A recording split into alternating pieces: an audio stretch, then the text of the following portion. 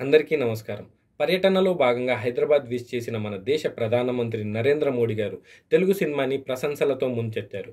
తెలుగు సినిమా ప్రపంచవ్యాప్తంగా గుర్తింపు తెచ్చుకుందని తెలుగు సినిమా దేశంలోనే నంబర్ వన్ స్థానంలో ఉందని తెలుగు సినిమా గురించి చాలా గొప్పగా మాట్లాడారు. ఇలాంటి సమయంలో తెలుగు సినిమా సత్తాని ప్రపంచవ్యాప్తంగా తెలియజేసిన దర్శక ధీరుడు ఎస్ఎస్ రాజమౌళి. ఆయన దర్శకత్వంలో రాబోతున్న చిత్రం ట్రిపుల్ ఆర్. ఈ సినిమాలో ఇద్దరు అగ్ర కథానాయకులు జూనియర్ ఎన్టీఆర్ రామ్ చరణ్ నటిస్తున్నారు.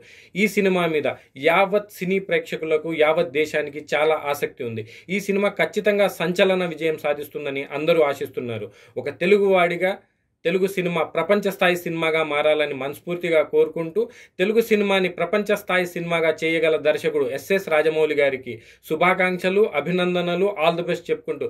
సార్ రాజమౌళి గారు మీ సినిమా ట్రిపుల్ ఆర్ సంచలన విజయం సాధించి తెలుగు సినిమా సత్తా ప్రపంచానికి తెలియజేయాలని మనస్ఫూర్తిగా కోరుకుంటూ ఆల్ ది బెస్ట్ సార్.